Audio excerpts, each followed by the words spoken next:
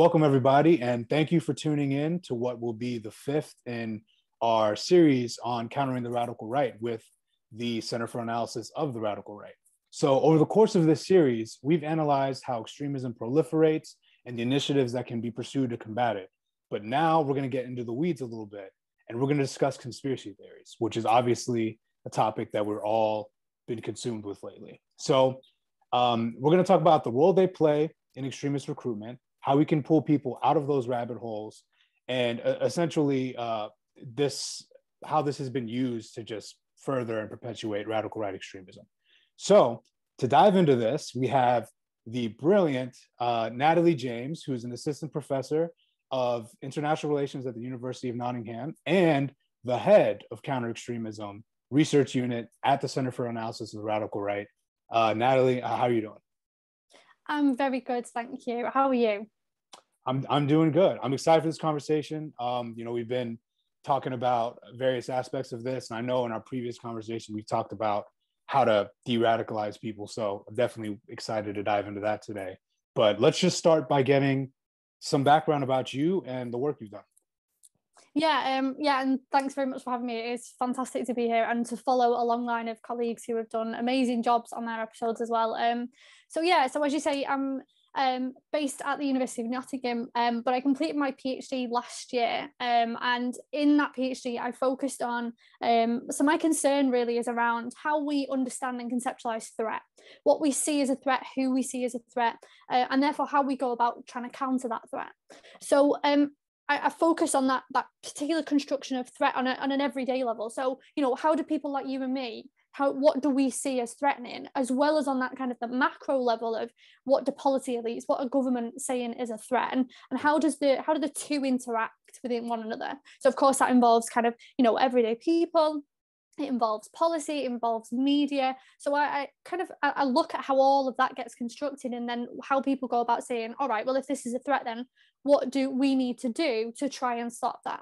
So a key part of what that has been is is looking at okay well in the uk context how is threat understood to be countered there? And in what linking back to um, Sean he had a couple of weeks so I use the prevent duty which was the statutory element of what he was talking about. So that legal responsibility on uh, in the UK members of the um, public sector, their their responsibility to identify and try and disrupt threat of extremism and terrorism from becoming something that was a danger to the public, danger to the UK.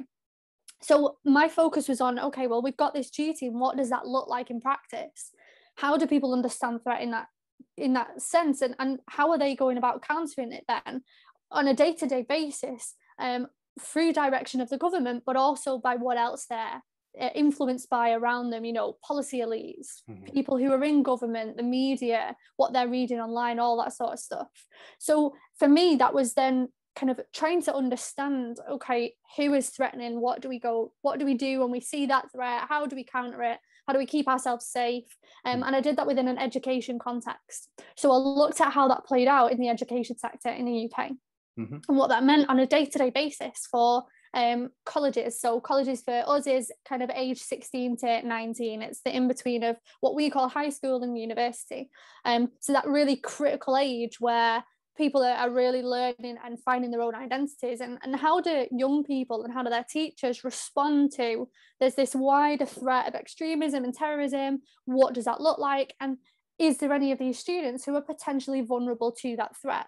So the research was really trying to examine how do people interact with one another when you've got this duty on the one hand but you've also got you know human beings in front of you who in one sense might well be becoming vulnerable to that exploitation and, and need protecting, need safeguarding. But on the other hand, you've also got this wider policy media discourse, which is kind of very securitized and, and has been predominantly focused on, let's face it, Islamist terrorism for, for since the war on terror era. So, kind of seeing the challenge between those two and how that played out on the ground. Um, and that's kind of then got me into this interest around all right, well, we've had this dominant view of terrorism being all about Islamist inspired terrorists. And where does the far right fit into that especially as we've you know seen the perceived rise of the far right over the last sort of maybe you know in the uk context probably it's come into public sphere around the last seven eight years or so we can trace it way far further back than that but as a kind of a policy concern we've only started to see it coming through um, recently so how did that then fit in and and, yeah. and more recently what i'm looking at going forward is exactly as some of the conversation is going to be about today where does conspiracy theory fit into that then? And is conspiracy theory, can we understand it in those same lenses? Is it something that we need to protect people against in the same sense that we're protecting people from far right extremism? Yeah, and it's, it's interesting as you talk about that that young age group, right? And I really think um, you know, when you when you've been analyzing this, and I, I know now your the interest is of course conspiracy theories because I think precisely as you say, uh, they're, you know, it's not just the main focus has been on the security aspect and like yeah. the the counter extremism, the, the counter terrorism, countering the violence, but not necessarily the prevention, which of course the UK has done. But here in the US, it is just about uh, how do we prevent the next attack, et cetera. But when, when you're seeing when you were looking at that that young group and what you know what vulnerabilities were there, um, did you see you saw obviously conspiracy theories kind of popping up there, right? As as one of the uh, things that might potentially um, lead to um, radical right extremism. They've kind of been used as recruitment, right?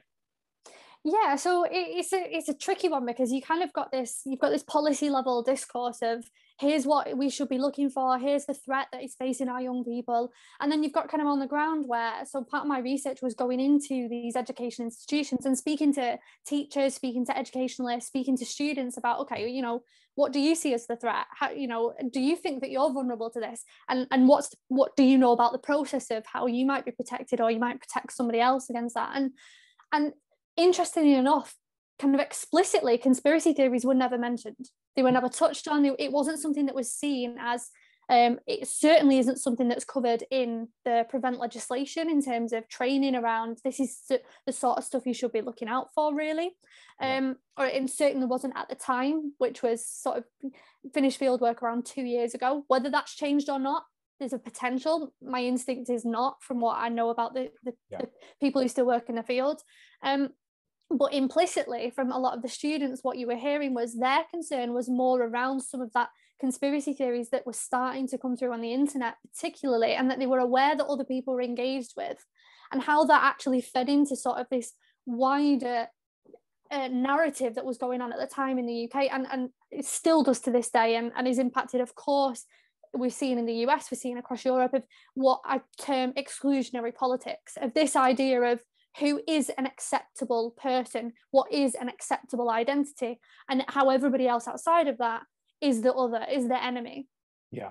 So explicitly, conspiracy theories never really came up. But actually, when you dug down into what people were talking about, they were very much tapping into what we've now seen in the last sort of two years, particularly with the rise of QAnon, was this idea that, you know, the kind of potential corruption of the elite and these and it wasn't that these students to you know just to be really clear it wasn't that these students were sort of echoing these narratives it's that they were acutely aware that that is what existed out there and that there was a concern that potentially some of that was creating really hostile environments mm-hmm. for that there was a potential that that then had the the, the potential to create extremism and, and violence and you know and and disputes and, and divides between communities so it was really interesting in that respect how it was the students who really were picking up on on the dangers of conspiracy theories at the time. Yeah, yeah because especially you know um, people of uh, you know the, our younger generation are able to see that conspiratorial thinking really took began to take off in the 21st century even more, given the access to information, the access to social media, um, the various conspiracy theory films, and especially given the fact that government, you know, we had the uh, like we discussed in the other episodes, like we had the Iraq War, right? So there was an actual lie where that sowed a lot of distrust so that people could then and and now what we're seeing is when it comes to this like surge conspiratorial thinking you're right it's interesting that you say there was no implicit there was no explicit statement of the oh it's conspiracy theories driving this because when you actually think about it um, racism itself and white supremacy and extremism are conspiracy theories themselves. You know you need that conspiratorial thinking in order to rationalize the vast great replacement that is coming and all these other things that come. It's like you need to that's why these with the surge of qanon um, have you seen that that has played a role in do you think it's correlated with this surge in extremism generally with with this broader rise of conspiratorial thinking? Yeah almost certainly yeah i mean and it, I, I don't think it can be blamed in isolation it can't be kind you know like it's not the, the sole reason for it it's not a sole driver of it but it's and that's what i was talking about this kind of politics of exclusion we've allowed almost this um, I, Mario talked about it in his episode um, last week, and he said about you know it's this idea of relative deprivation and, and relative loss of you know loss of power yeah. and and that sort of thing. It's it all feeds into this idea that people are, are you know whether rightly or wrongly are feeling disgruntled by the situation that they're in, and these conspiracy theories are feeding into that existing narrative of disillusionment, of grievances, of you know of not believing the state of not believing the the lies that we have been told by the state. And so they they play a really crucial role. They don't play a role on them on their own yeah. but they do feed into that wider narrative almost certainly and especially when you've got kind of this this rising sense of not only nationalism but let's face it ethno nationalism and uh, of what it can only be described as white nationalism, particularly you know the US, and it, and it is certainly evident in the UK as well. And without that context, I'm not quite sure conspiracy theories would have latched on the way that they have. But equally, conspiracy theories have almost driven some of that to enter the mainstream in the way that they have, because I think it's perhaps in the way that say you know the great replacement theory is not going to be believable to everybody. Not everyone is going to latch onto that sort of extreme side of potentially some of these ideas that are linked with um, far right extremism. But they certainly play on the fears of those who are not necessarily convinced by that but it's tapped into something in their head that has played on that fear that they have and the conspiracy theories i think have allowed people who are potentially on the very very fringes who are never going to be the ones who are radicalized by the extreme right, right? But they're the ones who are taken in by some of the narratives that we see in the radical right. And mm. conspiracy theories have perhaps created that path that has enabled some of them to maybe get involved in some places, but even where they haven't, it's allowing them to lie on the fringes of the narratives that are wholly embedded in in far right extremism. Yeah, that that's very well put because what we're kind of seeing now, especially with QAnon, is I always call it the old country buffet of uh, conspiracy theories. No offense to old country buffet, but you go in there and there's just you can pick and choose what you want to believe in. And I know yeah. so many people who will believe they there are people who are falling down the QAnon conspiracy theory rabbit hole and don't even know that they're falling down the rabbit hole. They they believe in little bits and pieces of it. But what it always ends up coming, especially in you know, as we know, I'm sure you've seen Q into the storm by now, and um, potentially because Ron Watkins, I'm very convinced he might be Q, uh, because it's essentially they were just really feeding into all these existing divisions, these existing skepticisms, these existing uh, perceptions that the elite is out to get them, that no expert, no one of prominence can be trusted. They're all in on it. They're all, you know, everything is connected. There's, you know, Trump would tweet out a capital letter and they uh, of a certain like accidentally capitalize something and they would take it as code and it, it was just once people started to go down the qanon rabbit hole we started to see it turn it pretty much blatantly pro-trump and if you're blatantly pro-trump one of the the big pieces of trump's movement is blatant white nationalism mm. so it, like it's it was almost as if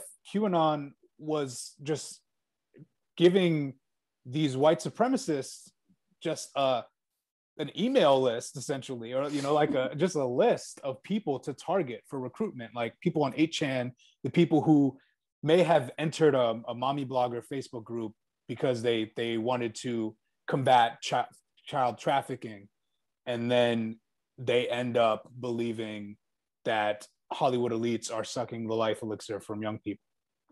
Yeah, and like you know, don't get me wrong, that whether we agree with some of the views or not right.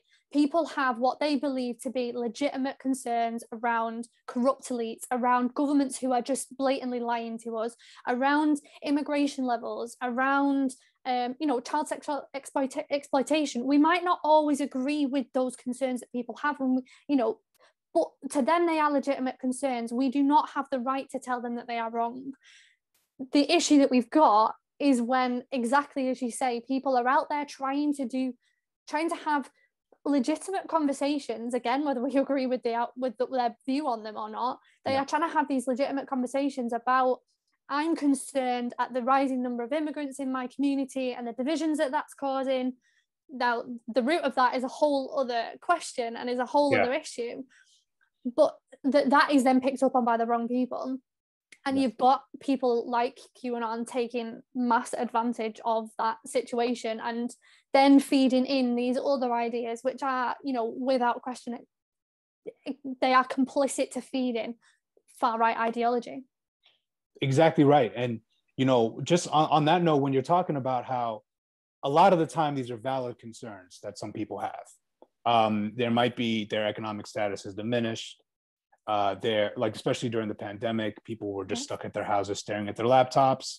And if you don't have media literacy, you're and you're, the world is crumbling around you. You might you might end up falling into these rabbit holes. And so a lot of the time, I think you're right. It's not it's in order to, you don't start and say your concern isn't legitimate legitimate you know you probably start by saying your concern is legitimate but tucker carlson's lying to you about this being a conspiracy theory to replace your whiteness so you know like but and on that note i mean obviously that's not the most eloquent way to put it to somebody mm-hmm. but you and your experience with counter extremism programs have you uh, what tactics have you seen work in kind of uh, convincing some of these people, walking them back off the edge of these conspiracy theories, uh, and and you know, kind of pulling them out of it. Have you seen a specific uh, way in which to approach these conversations? Yeah, so I I think what's really interesting is that we haven't yet seen any research that's been done that on conspiracy theories about that sort of that that return back um, and um, secret we are trying to push on it um, we are trying to get some research that uh, does exactly that but i think there's really important lessons that can be taken from from counter extremism policies in general in that exactly as you said that the, it is not about the most important thing is not about telling someone that they are wrong it's not about telling someone that they they don't have the right to think that the way the way that we did they do the UK and the US both have, you know, think of the First Amendment. We we have freedom of speech as well. You just because we don't agree with someone doesn't mean that we can silence them and tell them that they're wrong. It's about but you know but equally like views need to be challenged if they are wrong but it's about creating dialogue and space for meaningful dialogue as opposed to simply preaching to someone okay you think that boy you should think this you should think this you should think this. That's not going to work. There's, they these concerns need engaging with in a manner in which you can talk they can talk with someone who is a trusted figure someone who is related to them. That's really important. There's no point in bringing in a government official or someone who they see who, who is linked to the authority. Well, that's just going to push them further away, particularly if you've also got someone yeah. who's already anti kind of government in the first place. If you are fighting a losing battle there. Yeah. Um, but creating that sort of that that space for meaningful dialogue where it is exactly as you say you know it's it's about saying not even necessarily oh this person is feeding you lies but actually saying well where do you think that that comes from? What do you think is the root of this? And actually here's some facts or figures here's some anecdotes from and stories of people and actually saying this is actually where it comes from and this is perhaps one way you could go about doing it. And that's the other kind of potentially the key lesson that can be taken from extremism agendas is providing people with a, a meaningful outlet for their concerns. It's not about silencing them. Even if you get to a point you know, where you have convinced someone that they were wrong for whatever reason, by going through that process, they still have the right to be able to air a concern. It's not about silencing them in that respect. It's about providing them with a, a, an alternative outlet that isn't one that leads to necessarily violence or isn't one that leads to hatred. Um, that actually allows them to engage with what was at the root cause of their disgruntlement and grievance and concern and is there a way that we can address that? It might be you know which is where kind of that's where what prevent does in that what sean was talking about in trying to deal with some of those socioeconomic grievances or provide mental health um, support.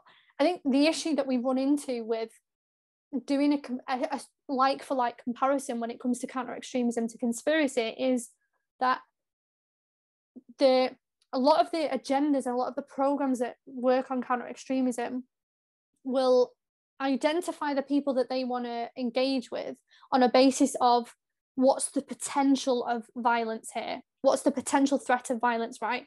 That isn't always the case with conspiracy because not all conspiracies will lead to or encourage violence.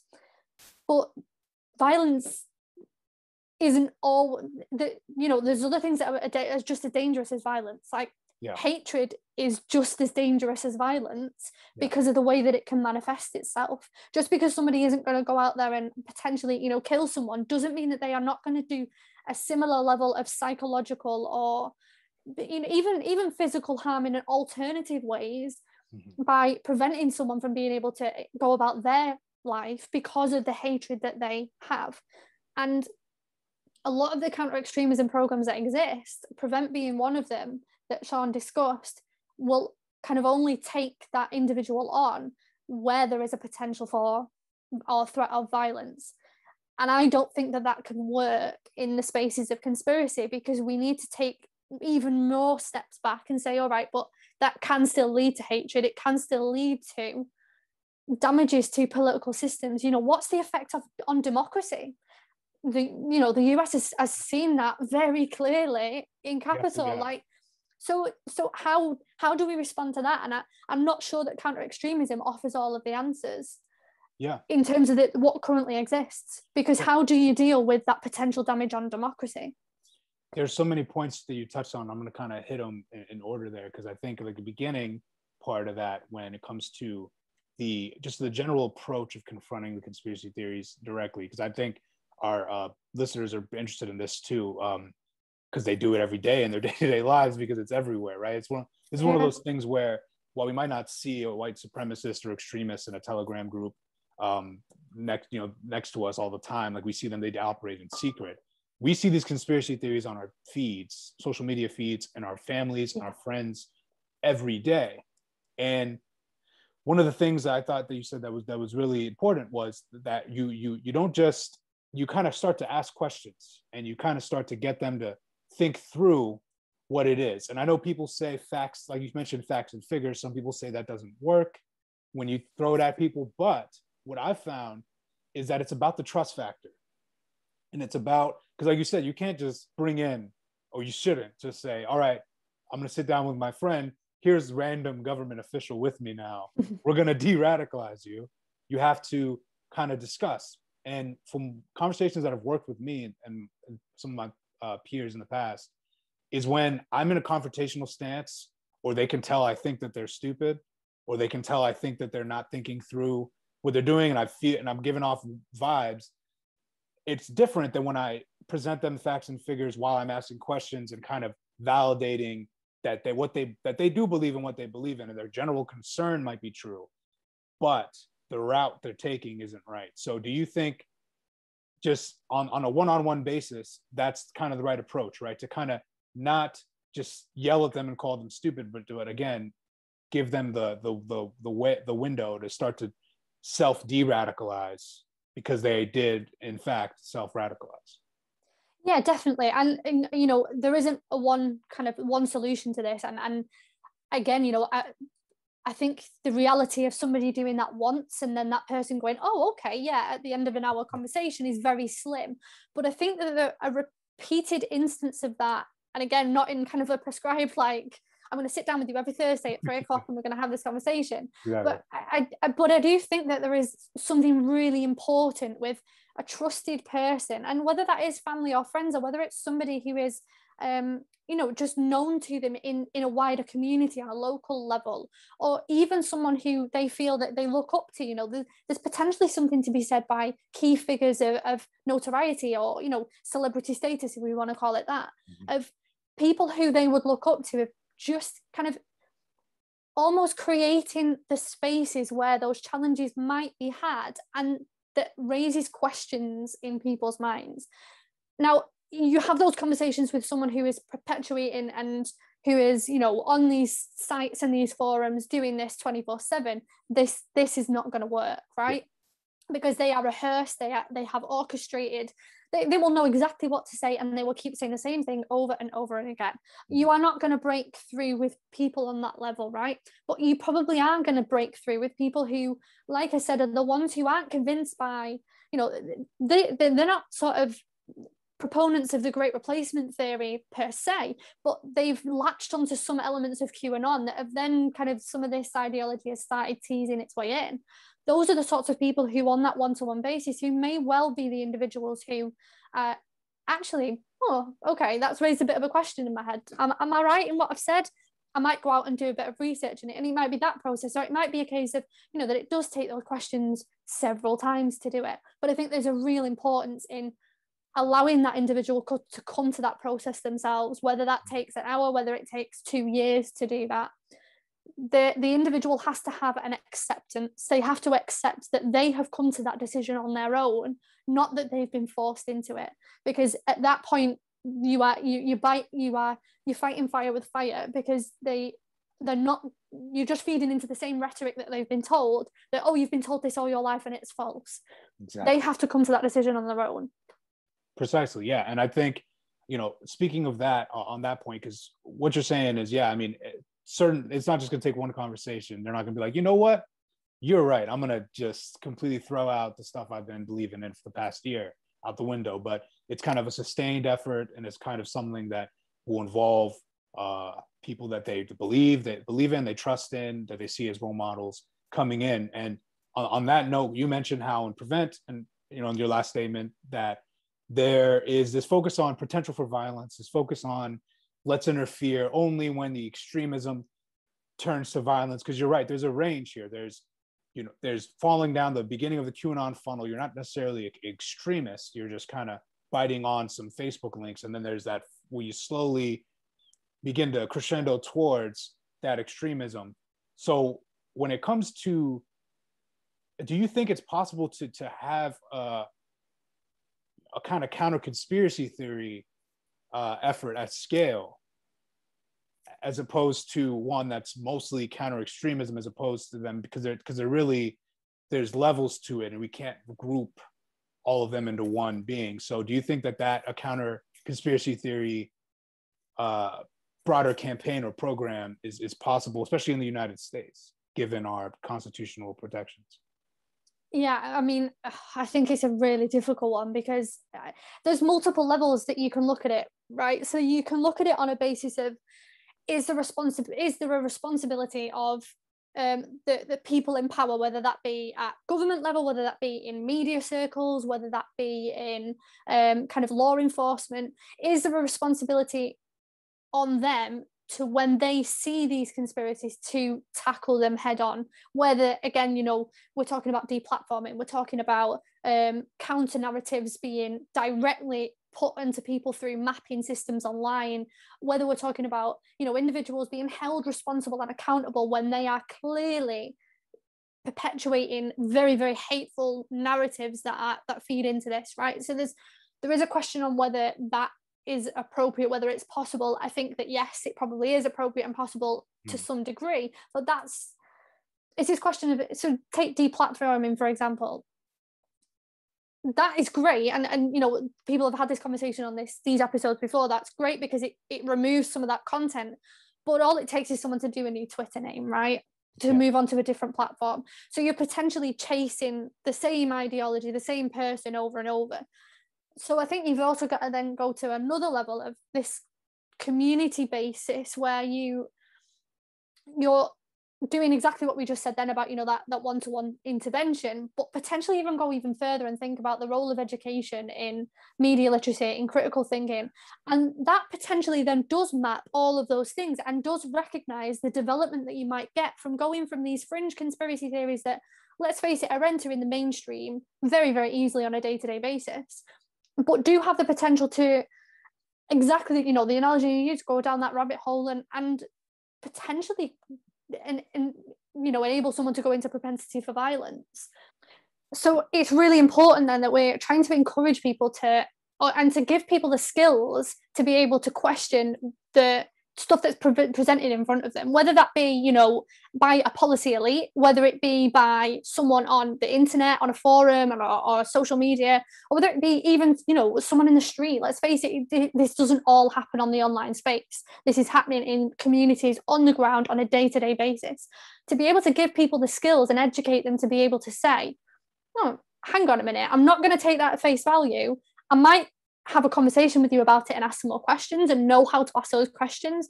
I might go away and have a have a, a search online and see what I can find out myself. Or, you know, even not to that extent, to be able to just get say, I'm not quite sure that's true, and therefore I'm not going to take it at face value and and I can leave it there. And until we start embedding that in an education system, then I think that we're never going to get to the root issue of trying to tackle how let's face it, how very, very bloody clever these people are at tapping into some of the narratives and the fears that exist.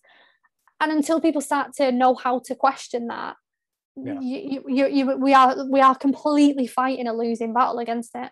I completely agree. I mean, I could not agree more on the education front because that really is the root, especially here in the U.S. when it it just has not evolved with the times. I mean, uh, we should be teaching the kids uh, to, especially like I, I propose like a homeroom class where just media literacy, period, and you're just kind of teaching people how to navigate the day to day headlines, show what sources are credible, how to discern fact from reality, uh, give the context to to various uh, situations, show the tactics that are used by conspiracy theorists and recruiters um, and, and extremist groups to tap into this. And I think you know, it doesn't necessarily have to be like a, a branded thing in which we're like countering conspiracy theories because obviously the right will weaponize that and act like we're attacking right wing ideology. It's just a robust investment in a internet age education uh, curriculum, and I think that really gets to the root of it.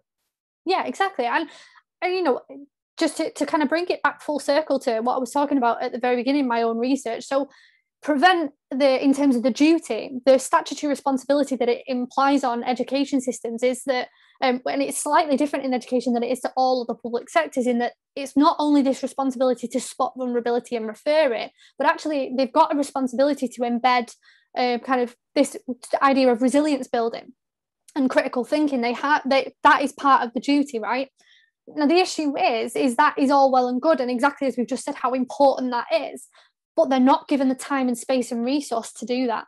So this is the biggest issue that i have with with what would be in my view the best way to tackle these issues and and to see that mapping from the potential of conspiracy theories. But you know even if you even go further back than that even just questioning what a politician is telling you should i be believing this you know at that very basic level all the way right through to these people who are harmful, who are going to try and radicalize and exploit people who are in, you know, potentially going through an awful lot and are seeking out community and belonging and are being exploited, right?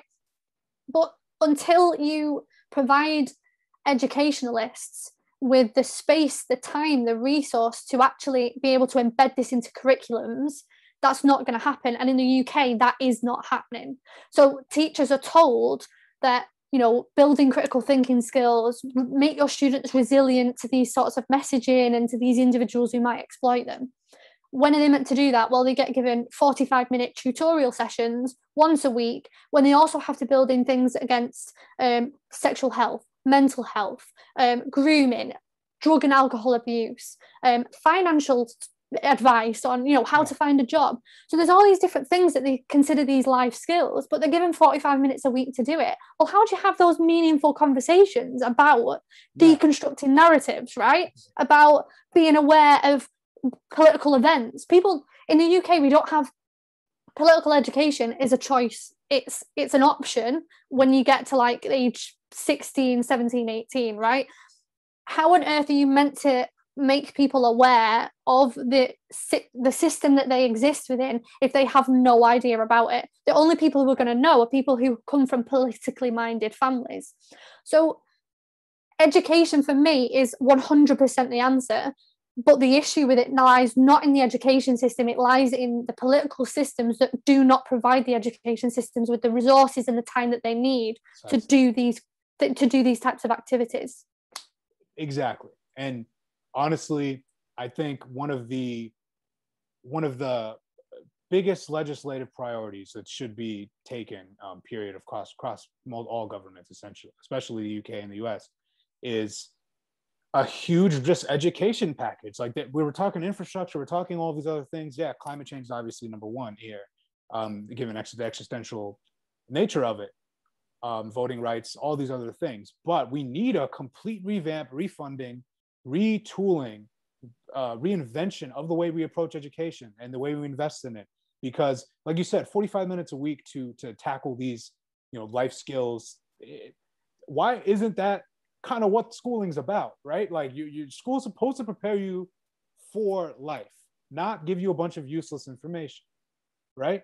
Not useless. Yeah. Obviously, it's, it's it has use. You know, I'm not that. You know, you're an academic, and you know you you know the value of of schooling and and you using information. But I think it throws a lot of information at people without telling them how you use this information practically, how you can discern uh, fact from fiction, how you can critically think, also how you can deal with adversity. Uh, I'm not saying we need a therapist. We, we could have a therapist, but in psychology, you know, well, I, I took a psychology class in high school and it, it, talked through all the concepts of psychology. And, you know, broadly, I learned about Freud, you know, I learned about all this mm-hmm. stuff, but it didn't spend much time talking about our individual psychology and how we should grapple with the adversities of life. You know, I feel like we'd have less mass shootings if that was just a simple thing that was told to a young, impressionable kid that felt that you know they, they didn't know their way, right? So I think I think I'm glad this conversation moved to, to education because people edu- investing in education is a counter extremism, counter conspiracy theory tool. Uh, it's and and it's just been kind of overlooked almost. It's like we just kind of let it be and not evolve it to the, the status it needs to be. And I know that's a problem in the US, but you're saying obviously clearly it's a big problem in the UK as well. Yeah, and it's a frustrating one because it, on the surface, the UK looks as though it's doing a lot in education through the prevent duty, right? And it is frustrating because that isn't it isn't playing out on the ground as it should. And you've got a situation where the students I talked to were crying out for the opportunity to talk about this. And they, exactly as you said, you know, they link things like terrorism and extremism, they link it to the same sort of knowledge and critical thinking that's needed to deal with issues like climate change, that's needed to deal with issues like homelessness, that are all really important issues to them, but they're not given the time and the opportunity to talk about them in school and yet school for them is that safe place where they can have those conversations. And then you've got teachers on the other hand who are kind of almost they they know that this is what students want. They know it's what students need but they're prevented from being able to offer that opportunity for discussion because they're trying to make sure that they've hit whatever criteria that they need to to get students to pass an exam to get so we have a, a, regulatory system called ofsted who come and inspect all education institutions to make sure that they're performing to certain levels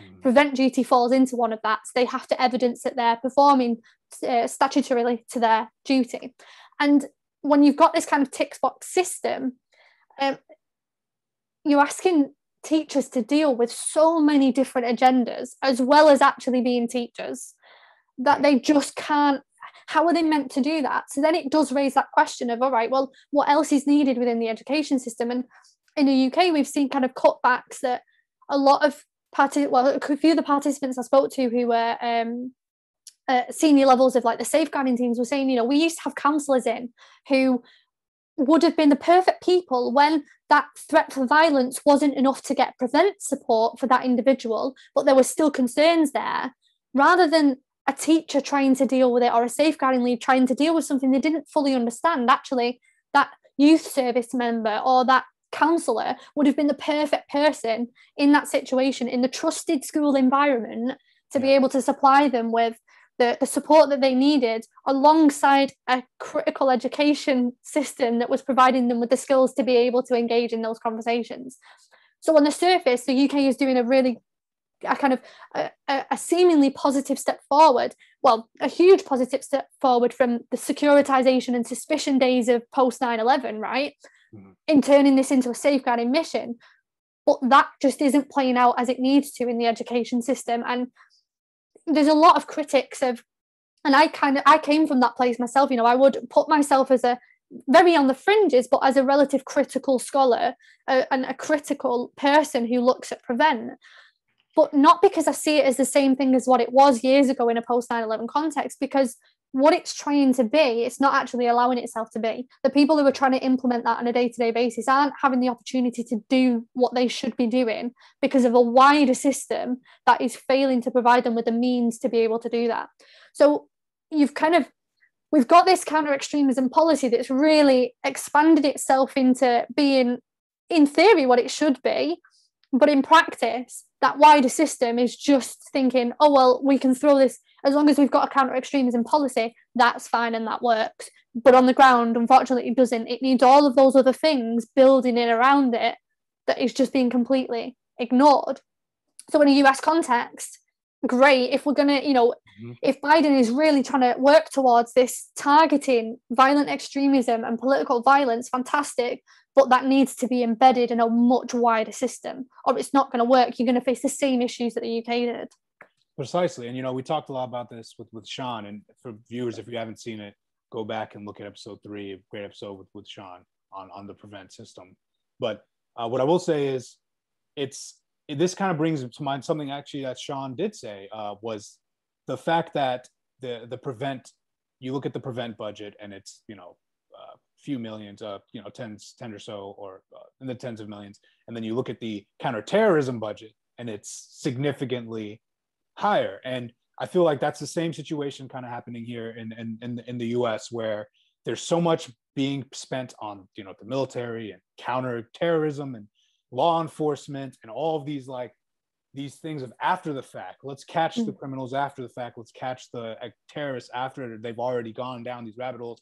And then there is nothing not nothing, a smaller amount being invested in making sure that we create the greatest potential members of society. Mm-hmm. Like the education system should be the number one. It should be the mo- the most well funded part of uh, society. Uh, aside from, of course, there's there's healthcare and these other initiatives, but one of the most important things about is the, that's the biggest opportunity to make sure you create an entire uh, population of of law-abiding, productive members of society, and we just like let it be, and we don't we don't we don't put we don't put those tools into play. That, that like you said, like I think prevent prevents definitely on the right path there when you say, you know, the fact that that's even in, in the education, we have nothing like that here. And and here it's because school is so localized uh, and there's not there's not there are international they're not international there are federal standards but each state just does whatever they want with these textbooks. And I grew up in Virginia, and I, I mentioned this in a previous uh, episode, but you know, one of my college professors told me, you know, and the kid next to me that we should be proud of what our ancestors did, even though, of course, I'm not a descendant of slaves, but you know, just the just ignorance. The, just the ignorance and the fact that every locality is able to do whatever they kind of want. And I'm not, and obviously, if I even propose this or even say this, people on the right try to claim that you're trying to be a communist nation, you're trying to be like China, you're trying to create a monolithic federal system. Well, I that's not the case. It's trying to it's trying to create positive members of society in which where what state you grew up in doesn't doesn't impact your level of success or knowledge of the world around you. Now the Republicans in the US are targeting critical race theory, uh, mm-hmm. and essentially now they're kind of going beyond that and just essentially targeting the way we teach slavery essentially in the way that they're going about this um, and I'm trying to limit what can be said we're going the opposite direction that the uk is in the prevent uh, side. So on that note before i just continue ranting and get getting angry about this because i really you know this rightly is, so. Right? Like it's just so obvious what we need to do. And there's just a certain part segment of the population and lawmakers that are just holding us back from doing this because this is education is really the key. So um, on the, on that note, in regards to just kind of the, uh, the, the practical recommendations that you could give to you know the Biden administration, for example, this would probably be one of them, right? Uh, when it comes to countering these conspiracy theories. So obviously, education is a big piece. And what other parts? What other suggestions would you bring? Yeah, and, and just kind of just a, a little bit to add on to that. I'm not even sure if we need to. I mean, don't get me wrong. I don't know if it's well. I, yeah, I know it's the same, but if you shove it, crouch it in a counter extremism bubble, suddenly you get more funding for it, right? Um, so I, but I'm not even sure you need to do that with education. I'm not even sure you need to be able to link the two. For me, they, they go hand in hand. Like you educate people to be critical thinkers, you're not going to end up with people who are absorbed by these ideologies in the same way that we're seeing now. I'm not going to say it's not going to happen, but to the extent I, I don't believe that that those two things are, are, are separate. But that that could even that just needs to happen on its own, exactly. because that's how we've seen this sort of what I referred to earlier as this idea of exclusionary politics. That's how we've seen this rise of acceptability of hatred and um, you know and division and and and anti-other in general. So that can exist in and of itself, but for me, yeah, it is a hand in hand with uh, counter extremism um, approaches. I think as other people have said on this series, I think that you know social media platforms have got a role to play. They have, they exist the the narratives exist on and offline but they are they're accelerated by the online spaces they're accelerate accelerated by the ability for the transnationalism of these ideas and i think maybe that latches onto something else as well which i know has been mentioned that I, I, people are viewing this in isolation. And it's a difficult one here because i kind of have two two heads on it in that people are, are, are, seeing these issues as completely in isolation of one another and being well you know extremism is this and this is all it is and it exists in this bubble and it deals with these people. Terrorism is something that's different. Again you know we, we see that with this idea of domestic terrorism really not even being a, that much of a thing in the us whereas it's more like domestic extremism and international terrorism and and that to some extent that rhetoric is is replicated in the uk and that for me is problematic in and of itself. You're almost creating this hierarchy of violence and that somehow this extremism isn't quite as bad as the the the ISISes of the world, right? They they're, they're different, they're not comparable, but they're certainly equally as dangerous in different ways. Mm-hmm. And I think that that's an issue in the, the way that we define, the way that we describe, and the way that we treat. That we have to recognize that yes, extremism is can be different to terrorism, right? But there's overlaps as well. We need to treat them differently and which is where I'm kind of saying I have two heads on this. We need to treat them separately, but we also need to see the relationship between them. And I don't think there's enough of that going on. I don't think there's enough of this idea that it is transnational, that you that it, governments can't deal with this. And, and even on a state by state basis, you can't deal with that in isolation because it doesn't exist like that. It's influenced and it influences mm-hmm. on a global scale. So the the federal system in one way works against it as that. And, and you, you, said it yourself they're going to come up with huge challenges against that because it will be this whole you know oh we want to create this one marxist state and, and everybody is treated the same and you know in a problematic way. And yeah. But the reality is that this isn't going to work unless we have these global actors almost which is where for me the social media companies do come in hmm. in recognizing that it maps across. And, and until you start dealing with this on a trans national basis. Again we're not going to do much. There's no point in having controls in one country that are completely out in another country because then you're just going to get it's still going to happen anyway. So that's a kind of there's a, a, few different bits in that but that for me is one key issue that needs dealing with. Um, and then i think the and this is the this is uh, probably absolutely impossible right? But for me there is a huge issue in that political elites need to take responsibility and accountability for not only what they are currently saying, but for what has happened previously. Yeah. And one of the biggest reasons Prevent in the UK still faces the criticism it does is yes, you know, some people do still find it incredibly problematic, and I, I'm not here to say that they are wrong. But Prevent has significantly changed from what it was, but it it hasn't had the opportunity to demonstrate the level of change because none of the political elites have taken ownership and responsibility for its failings in the first place. They have not stood up and said, Do you know what? We were wrong. This is what this caused. We are sorry for that. And we are going to make a change and we are going to make sure that that does not happen again. It's almost been kind of shoved under the carpet that the vast majority of the Muslim population in the UK were viewed with suspicion. Yeah. And as a result of that, you know, we still have these discourses that still view Muslims with suspicion in the UK and and you know and across other countries as well, the, the US including, right? But until political elites start taking responsibility, they are never ever going to be trusted that they are in it for making meaningful change. So that is potentially a kind of a complete um, never going to happen scenario. But for me, there is a real issue in that. And until they do start taking responsibility and accountability and admit that what has happened before has been wrong, you're never ever going to get the trust of people to believe in what you're saying going forward.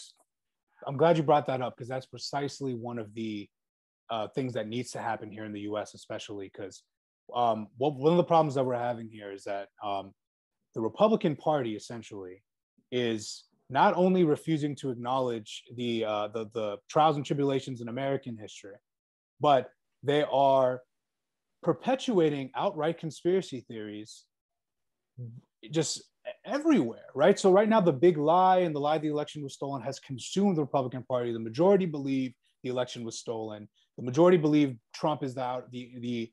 So they're they're refusing to acknowledge history, acknowledge the past, um, America's history, their own personal uh, complicity in inciting the insurrection, period.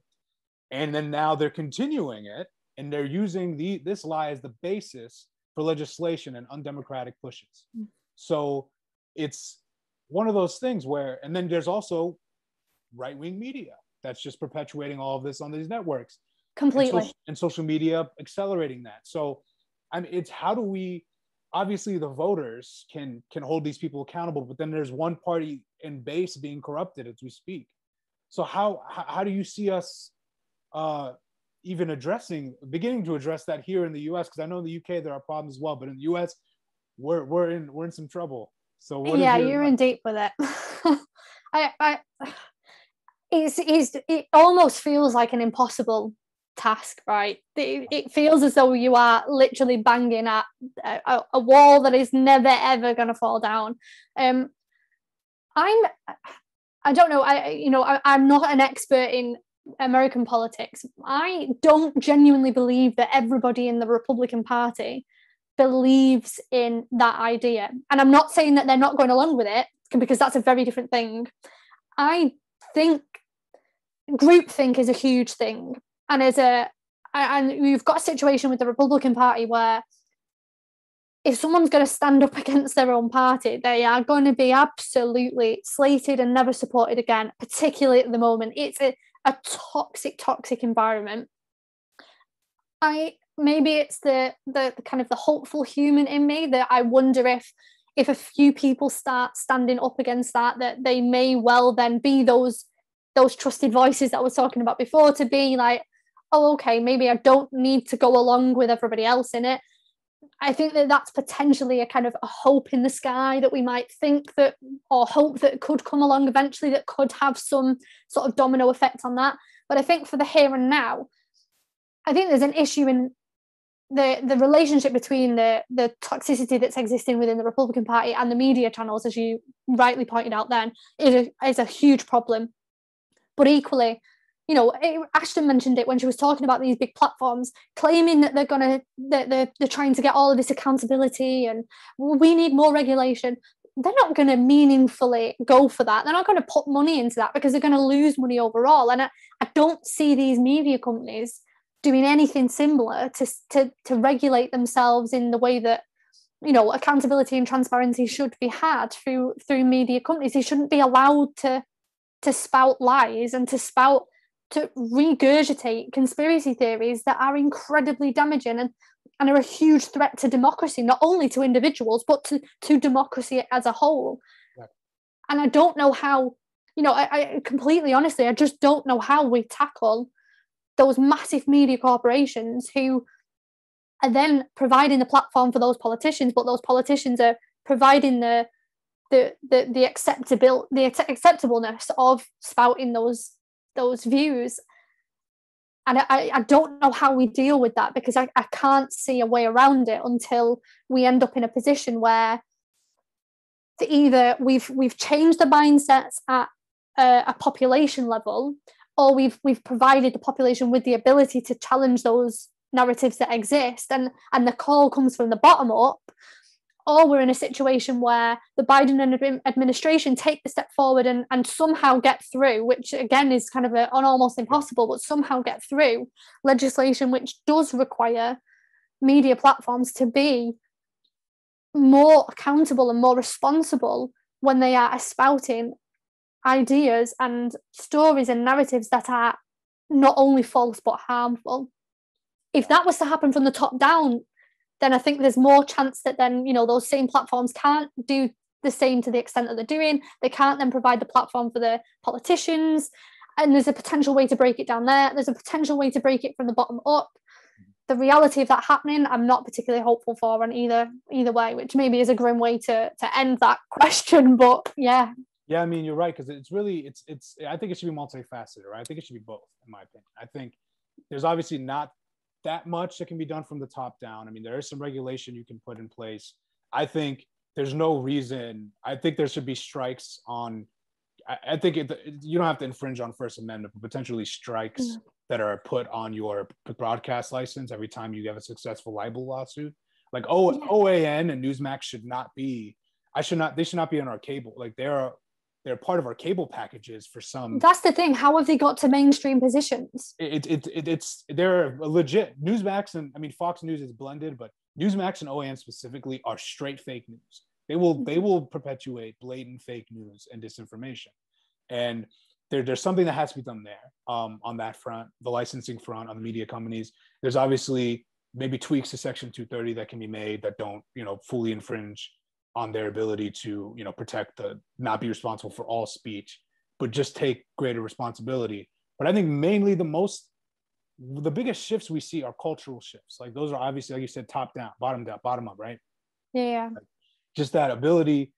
The only way the republican party itself is going to change and the base um well, I don't know if the base will change. They're just gonna, we're just gonna have to see how that goes. But the only way the, the leadership remains the same because they think they can win for some they just lost both cha- all chambers all yeah. positions of power but they somehow think that they can win through rigging elections with the voter suppression bills in the future so that's why they've latched on to the big lie i think really the only way to change the republican party from the bottom up is to just and i and i'm not even like a this isn't coming from a partisan i'm not a democratic activist i don't work for the biden administration or any democrat but in order for Republicans to turn back to sanity, I just think they have to be repeatedly defeated at the yeah. ballot box. It's the only way. The only thing that they read is power. So if you just could repeatedly destroy them at the ballot box and they just continuously just get beaten 2022, 2024, 2026, 2028, you know,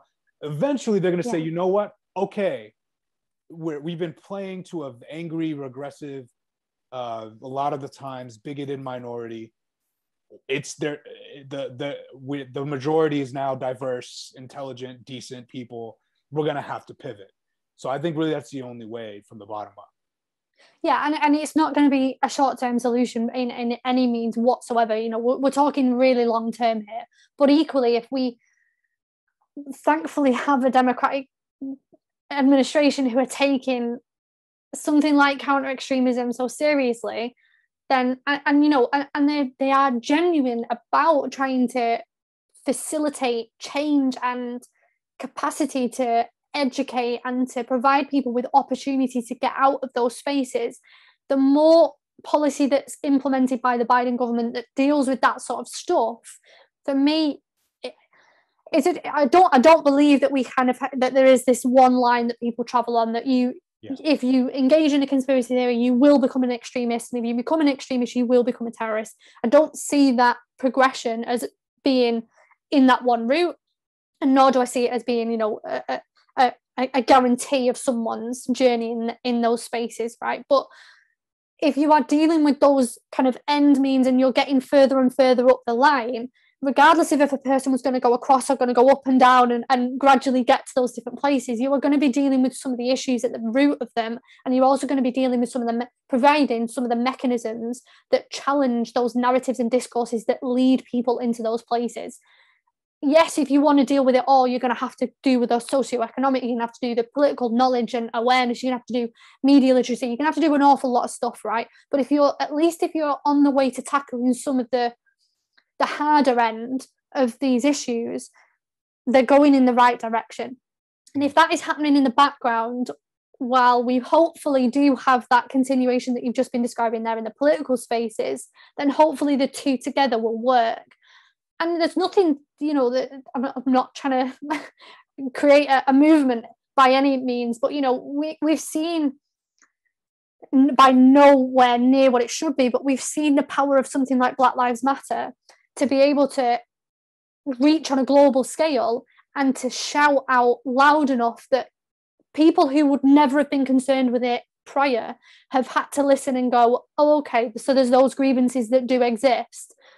You know, don't get me wrong, most of the population are just going to turn around and go, well, I don't care because it doesn't impact me, or, you know, or what they're shouting about. And we've seen the problematic responses to Black Lives Matter. And and we've seen the, the, the lack of government response to it and the problems that that caused. But what we have seen is a movement that was able to take off, gain international traction, and be heard when they were shouting, not in the ways that we might have wanted them to politically, but in terms of engagement with a wider public, we've seen that happen. And for me, that does give us some hope for the bottom up approach where people are going to turn around and say, actually, do you know what? I'm not going to accept this anymore and I am going to see what I can do in my local space to help challenge some of these. And even if that is on a one to one basis, you know, someone engaging with their child and saying, I'm going to sit down with you and we're going to have a look at some of these headlines and we're going to try and deconstruct them. We're going to try and challenge them. Do you, you know, what's wrong with this headline? What's wrong with this? Even at that individual basis, that is making a huge difference to that individual's ability to, re- sorry, to recognize fake news, to recognize hate, and hatred and to recognize problematic views that have the potential to enable not only that individual to end up in these spaces but to enable this wider discourse of just hatred and ethno-nationalism and poison that we're seeing yeah. in the mainstream now not even in the extreme yeah great great great points because i really think it's it's it is really about uh, we need an institutional approach as well as uh, a, a kind of a movement level groundswell in which because like you said, I'm glad you brought up Black Lives Matter because it really it was there was such a powerful moment, especially last summer before it got propagandized by other forces. Um, that where people there was a huge re-education about racism in America and about and and that's and that really tackles within itself the extremism, uh, the, the white supremacy, right? The white supremacy aspect of extremism, because it really can debunk, begin to debunk, begin to discuss privilege. Those are counter extremism on the white supremacy front.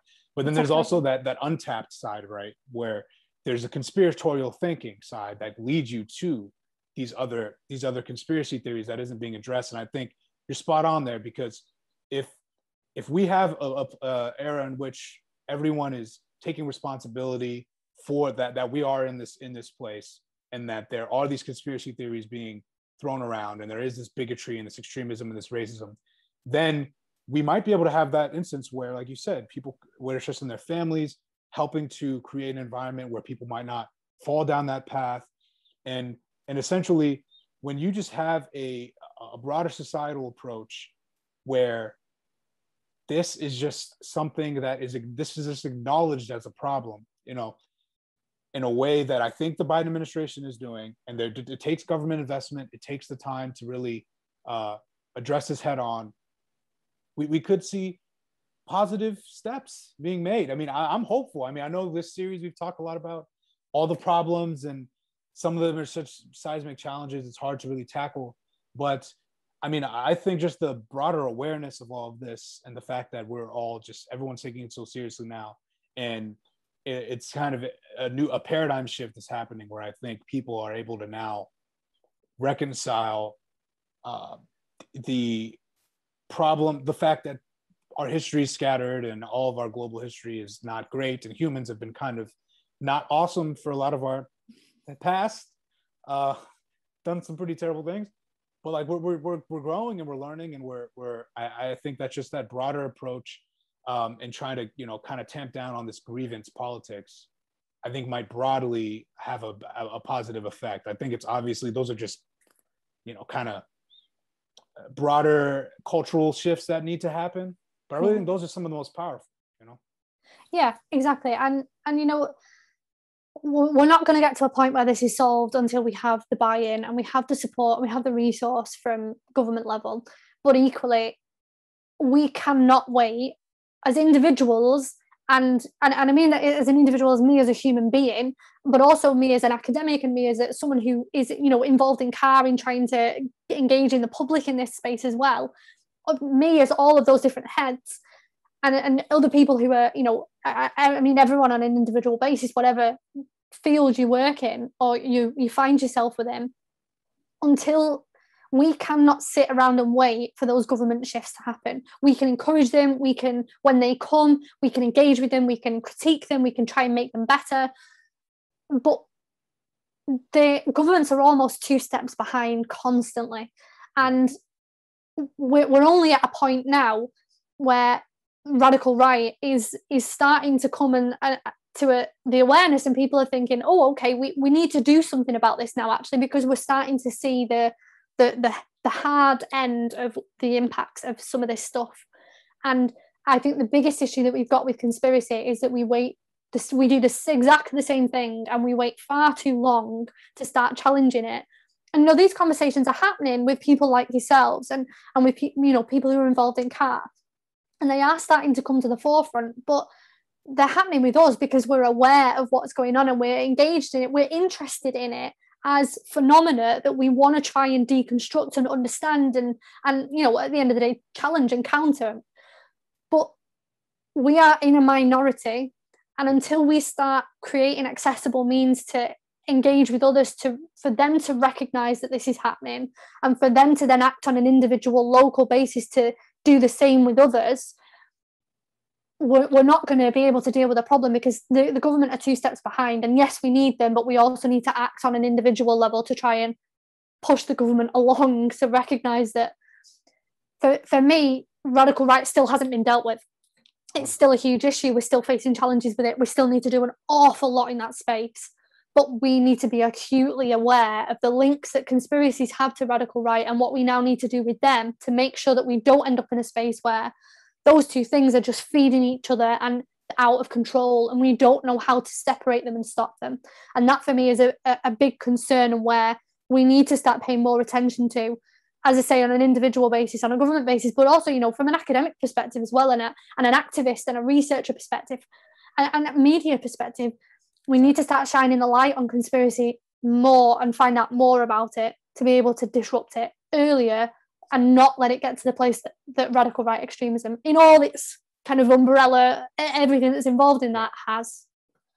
Just super spot on. I think, you know, that's why this partnership, a good, nice moment to plug this awesome partnership that we have between Rantt and CARR, where I mean, it's it's just what one thing I knew, you know, growing up and why I even pursued this with my with my co-founders and, and friends is really because if people don't understand how things work, everything is a conspiracy that's really what it comes down to. And you brought up education. We brought up uh, just the cultural knowledge of, of what's going on, how that what what conspiracy theories are proliferating. You know, if you don't see, if you don't know what to look for, you're going to easily be taken in, and that's why it's so important to have media organizations and academics and elevate the researchers behind this to to present uh, coherent and accessible uh, methods of how to deal with this personally, how to spot this, the tactics that are being used for recruitment. How, like, when I saw Plandemic uh, last year, I, I could immediately spot a thousand conspiracy theories I've seen for centuries. You know, like, you just, if you know how conspiracy theories work, if you know how cons- how racism is inherently conspiratorial, anti-Semitism you know there's a big problem with anti-semitism currently where people don't yeah. recognize like people just don't know that they're repeating something that Hitler said. You know, like they don't know it, right? Because they're they're not aware of the history. There's exactly. not a cultural knowledge of the. If you keep saying Jews control, Jews control, Jews control X, if they did, they wouldn't have they wouldn't have went through the Holocaust. All right, number one. I don't want to go. I don't want to start a you know a rant on that front because I'll be I could talk about my frustration with anti-Semitism until the end of time. But point being, all of these, all of this is linked. There's just it's, and I'm really glad during this this talk we talked about edu- so much about education because that's just the core of it. People don't understand how oh, they don't know the history. They don't know the intricacies of of of how of how these radical right narratives have they're just these are just reincarnations and repeated repackagings of age old tropes and nonsense. That's what the radical right and that's what these conspiracy theories, especially anti Semitism, bring to the fore. It's just the same old. And you can read him in Hitler's speeches, and he'll say the exact same thing that you might hear in a clubhouse room on, on the on the app and here on social media. So I think you're right. It's just there's so much to do. Uh, the the government can only do so much. It's up to individuals, nonprofits like your uh, awesome org, CARR. Media companies have to take responsibility to play their role in it and not just uh, perpetuate these extremist views. And I think if we have a whole society approach, we could get this done. Yeah, and it's not going to be easy, but I do genuinely believe that it, that we can get to that point at some point. I don't know when that point will be. I don't know how long that journey will be and who, it's, how much it's going to take. But I, I do believe that, and I, yeah, I think for me, which is why full circle right back to my, my PhD work. That was why for me understanding how that conceptualization of threat and how we go about countering it in in the education system was so important because for me that is the cornerstone of understanding how people go about trying to engage with all of these challenges and how people who face some of those challenges themselves are then engaged with. And the education sector is the the ability and the the the means by which we can help those people who have got to that stage and prevent those, as many people from getting to that stage as possible with that blanket of just uh, uh, gaining, giving them the tools that they need to navigate the world that we now live in and not allow them to be exploited by these individuals who are getting closer and closer and closer into the mainstream. Very well said. Well, um, again, we could talk for another three, four hours, but luckily you're going to be back uh, for our panel that we're going to be doing. This is we're going to do the final in the series uh, Indeed. here. And thank you so much for coming today, Natalie. This was an awesome conversation. I had a lot of fun even though we talk about dark topics but we we have some we had some hope in here. So that's yeah. that is that yeah. is and thank you very much. Um and uh, i've really enjoyed the previous episodes and i'm really looking forward to our next one with the roundtable with everyone. Um thank you very much for your time. It's been wonderful. Awesome. Thank you and thank you everybody for tuning in